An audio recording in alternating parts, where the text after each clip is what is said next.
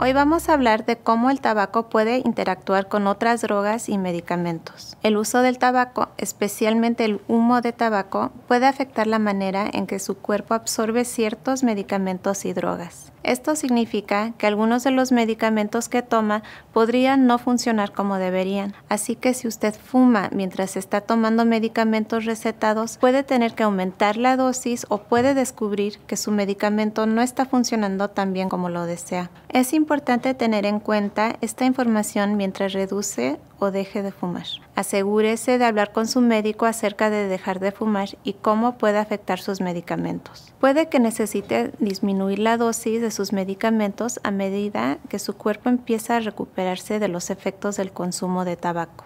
El uso del tabaco también puede afectar cosas que tal vez no considere una droga, como la cafeína.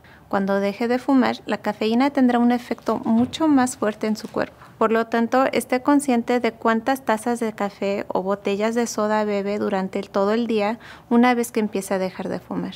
Recuerde que si usted tiene preguntas acerca de sus medicamentos, siempre consulte a su médico y tome todos los medicamentos según lo indicado. Sabemos que el dejar de fumar es difícil y puede ser agotador, pero con los recursos adecuados y apoyo puede lograrlo.